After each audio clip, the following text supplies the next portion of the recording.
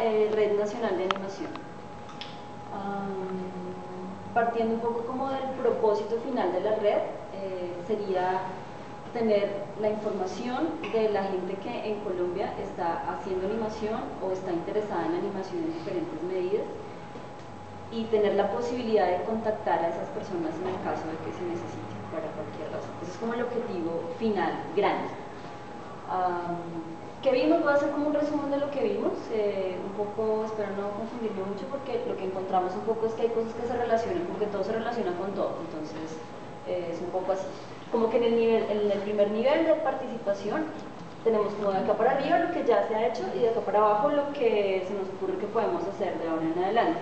Entonces, ¿qué se ha hecho? Los cafés animados, los workshops que deberían llamarse de otra forma, que eran como reuniones de trabajo y de presentación de la asociación eh, eventos varios que son charlas, conferencias, muestras, eh, las actividades del Día Internacional de la Animación que ya llevan años haciéndose, ah, y así en festivales, que es una cosa que se interrelaciona ya, digamos eso.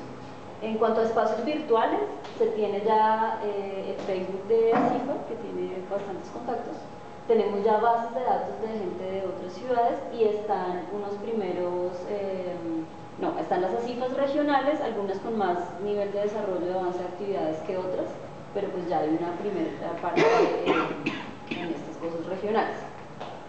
¿Qué se nos ocurre para seguir generando valor social? hay una idea de hacer como unos picnics animados. Em,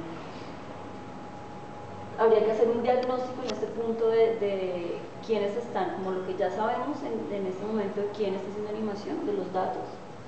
Eh, bueno, eso. Vimos que los festivales son como una cosa súper clave en este proceso porque funciona de muchas maneras.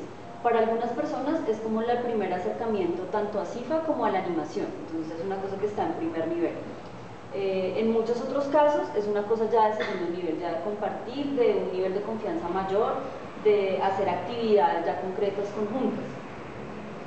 Ah, entonces tenemos en festivales, tenemos como las cosas de muestra que son primer acercamiento, las charlas, conferencias que son ya un poco para gente que está más interesada, como un nivel de interés mayor, y los talleres que hemos hecho en otros lugares que eh, como que generan un nivel de confianza mayor con organizaciones y con gente que está en otros lugares haciendo cosas en relación con la animación. También se han hecho muestras internacionales de ACIFA en otros países, eh, pues de cosas colombianas en otros países, y es una cosa que también vemos que se ha aprovechado poco, como que hay contactos, hay gente que ya nos conoce en otras partes y no lo hemos aprovechado lo suficiente. bueno, en cuanto a otras cosas de este segundo nivel que se nos ocurre hacer a futuro, eh, sería identificar líderes fuera de Bogotá para contactarlos y que sean como las cabezas de como una red descentralizada.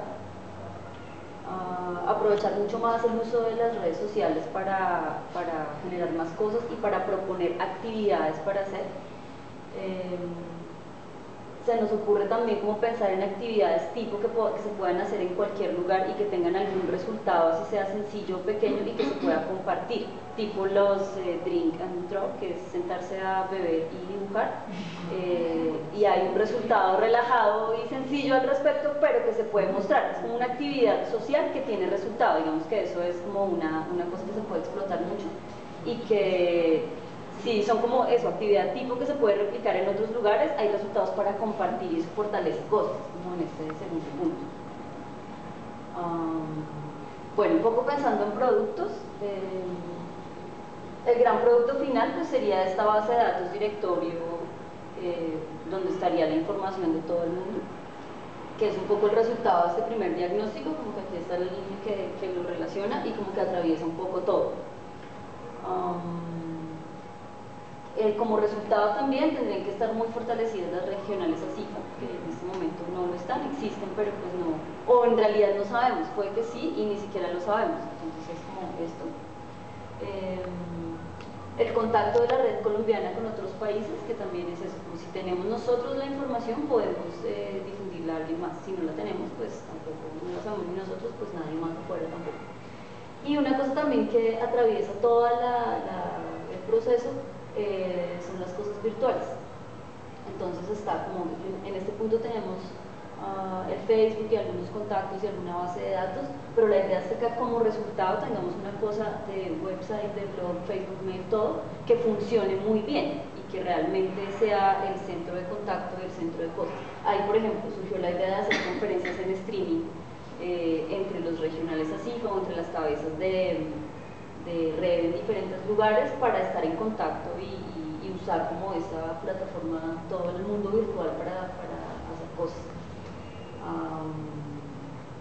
bueno, digamos que analizando un poco todo esto, pensaba yo que hay como tres líneas de, como de acción que atraviesan todo también.